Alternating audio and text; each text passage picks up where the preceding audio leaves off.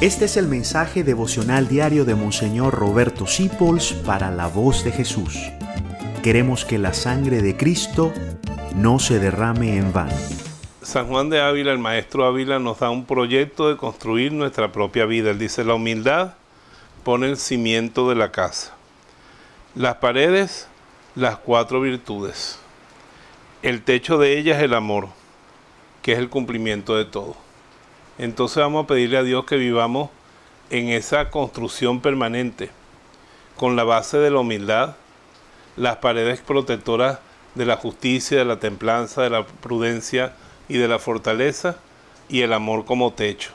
Trabajar por construirnos como una persona virtuosa, como una persona agradable, autoconstrúyete, no en el sistema ese de como vaya viniendo vamos viendo, un poquito de virtud, un poquito de pecado. No, no, no. Gente íntegra, íntegra como Dios la sueña.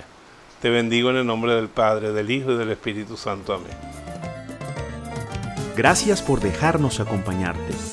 Descubre más acerca de la voz de Jesús visitando www.lavozdejesús.org.be. Dios te bendiga rica y abundantemente.